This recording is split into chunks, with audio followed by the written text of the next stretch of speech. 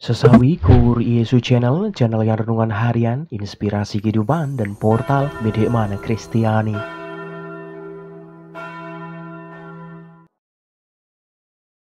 Damai sejahtera beserta kita.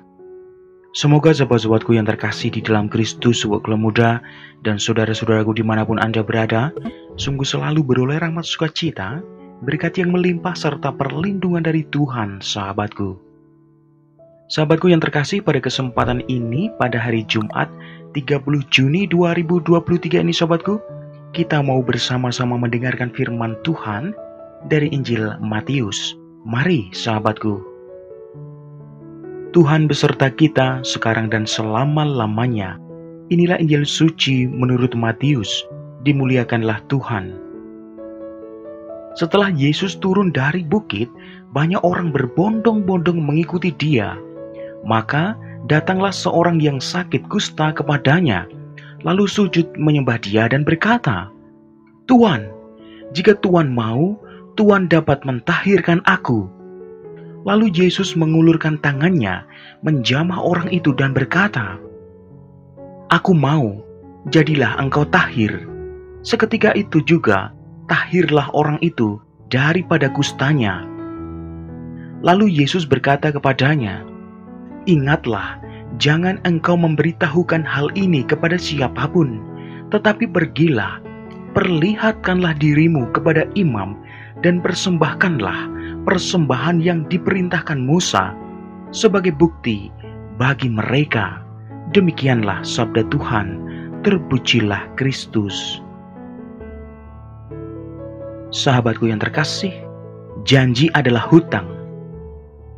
Sahabatku, orang yang tidak melaksanakan janjinya akan kehilangan kredibilitas sehingga ketika ia berjanji lagi, tidak ada yang mau mendengarkannya, sahabatku.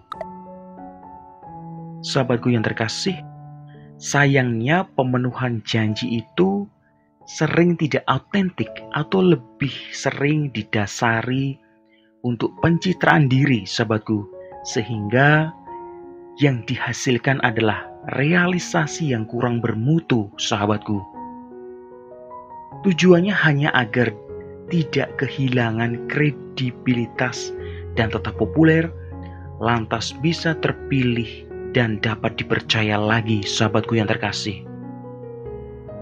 Sahabatku di mana pun Anda berada, janji tidak bisa dilepaskan dari kepercayaan lo. Sahabatku, kalau kita melihat kembali kisah Abraham, bahwa Abraham pergi dari tanah asalnya karena ia percaya bahwa janji Allah dapat dipegangnya, sahabatku. Sungguh Allah tidak ingkar janji. Sabda Allah terwujud dalam kenyataan, sahabatku. Kendati harus bersabar menunggu. Sahabatku yang terkasih, Abraham akhirnya memiliki tanah sendiri, anak sendiri, dan keturunannya pun menjadi banyak, sahabatku. Sebagaimana yang telah dijanjikan oleh Allah. Sahabatku, Yesus sendiri merupakan pemenuhan janji Allah. Dengan sungguh amat peduli sahabatku, ia menyembuhkan yang sakit, mengampuni dosa, dan lain sebagainya sahabatku.